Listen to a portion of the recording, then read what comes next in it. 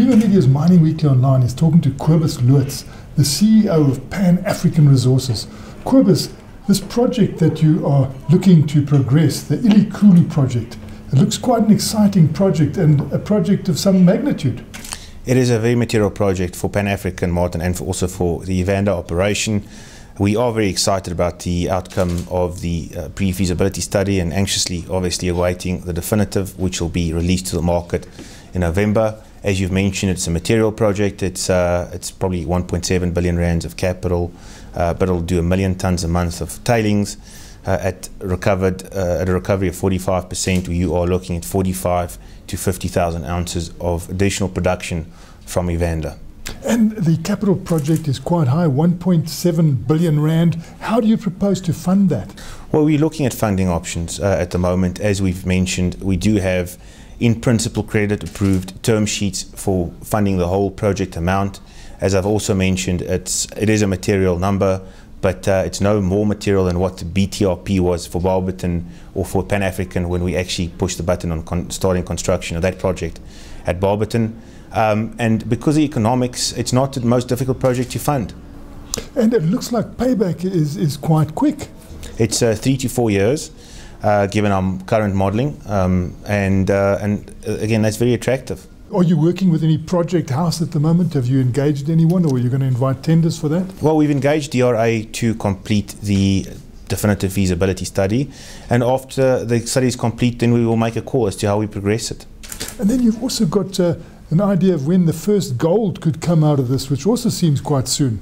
Well, the nice thing about a project like this is it's not a massive or massively long lead time to production from when we push the button, you're probably looking at about 18 to 24 months of, uh, uh, of, construction and commissioning, which means we could have our first gold from this plant before the end of the calendar year 2018. And what would the life of mine be of this sort of project? We have a very substantial uh, resource, tailings resource at Evander, uh, more than 200 million tons. So that translates for this project into a life of mine at present of about 14 years.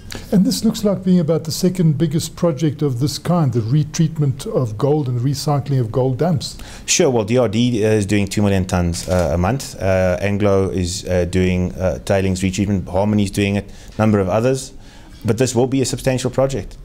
And you've also got the 2010 Pay Shoot project at Evander as well. Could you elaborate on that? Sure. Well, uh, this is a pay channel uh, ore body that runs parallel to the main uh, Kinross pay channel that we're currently mining at Evander.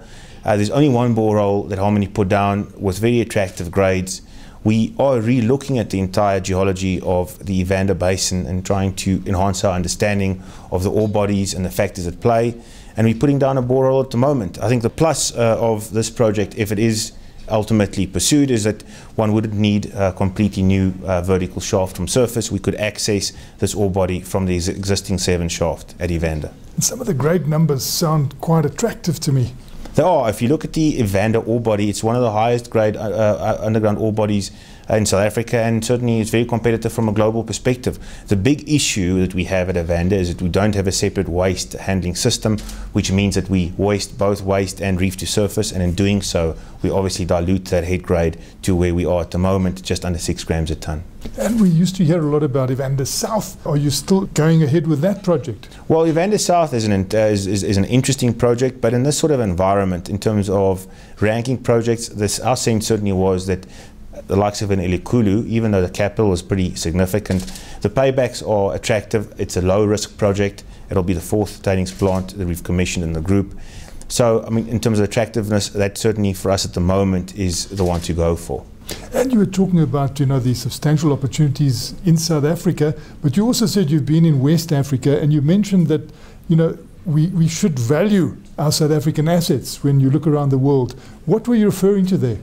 Well, uh, simply that uh, I think uh, certainly challenging uh, South Africa is challenging to, uh, to operate in from a number of perspectives, but it's no more so than the rest of Africa in reality. Um, and uh, and I think we must be fair fair on our own country also from that from that perspective. But you are still looking at M&A and you are looking at the opportunities, but they have to be accretive. They have to be earnings and value accretive in the short to medium term, and that's very important to us. That was Creamer Media's Mining Weekly Online talking to Cobus Loots, the CEO of Pan African Resources. which has just reported very profitable results.